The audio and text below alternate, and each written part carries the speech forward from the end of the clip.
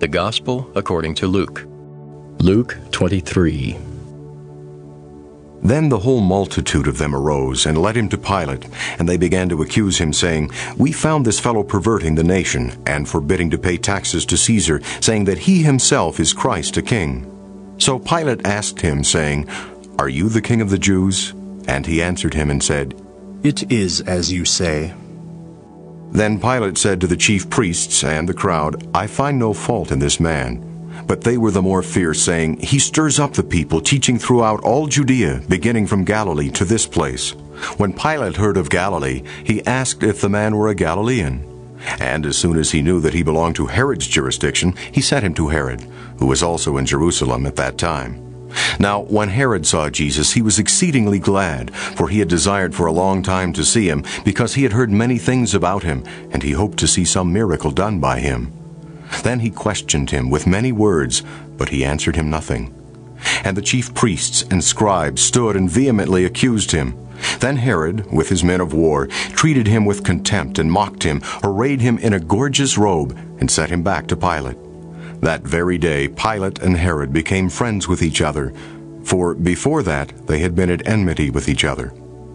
Then Pilate, when he had called together the chief priests, the rulers, and the people, said to them, you have brought this man to me as one who misleads the people, and indeed, having examined him in your presence, I have found no fault in this man concerning those things of which you accuse him.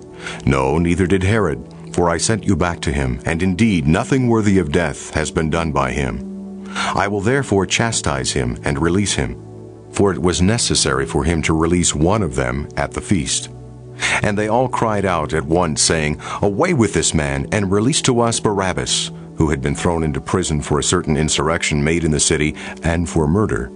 Pilate, therefore, wishing to release Jesus, again called out to them. But they shouted, saying, Crucify him! Crucify him! And he said to them the third time, Why? What evil has he done? I have found no reason for death in him. I will therefore chastise him and let him go. But they were insistent, demanding with loud voices that he be crucified. And the voices of these men and of the chief priests prevailed. So Pilate gave sentence that it should be as they requested. And he released to them the one they requested, who for insurrection and murder had been thrown into prison. But he delivered Jesus to their will. Now as they led him away, they laid hold of a certain man, Simon, a Cyrenian, who was coming from the country, and on him they laid the cross, that he might bear it after Jesus. And a great multitude of the people followed him, and women who also mourned and lamented him. But Jesus, turning to them, said, Daughters of Jerusalem, do not weep for me, but weep for yourselves and for your children. For indeed the days are coming in which they will say, Blessed are the barren, the wombs that never bore, and the breasts which never nursed. Then they will begin to say to the mountains, Fall on us, and to the hills, Cover us. For if they do these things in the green wood, what will be done in the dry? There were also two others, criminals, led with him to be put to death. And when they had come to the place called Calvary, there they crucified him, and the criminals, one on the right hand and the other on the left. Then Jesus said, Father, forgive them, for they do not know what they do. And they divided his garments and cast lots. And the people stood looking on. But even the rulers with them sneered, saying, He saved others, let him save himself if he is the Christ, the chosen of God. And the soldiers also mocked him, coming and offering him sour wine, and saying, If you are the king of the Jews, save yourself. And an inscription also was written over him, in letters of Greek, Latin, and Hebrew. This is the king of the Jews. Then one of the criminals who were hanged blasphemed him, saying, If you are the Christ, save yourself and us. But the other, answering, rebuked him, saying, Do you not even fear God, seeing you are under the same condemnation? And we indeed justly, for we receive the due reward of our deeds. But this man has done nothing wrong. Then he said to Jesus, Lord, remember me when you come into your kingdom.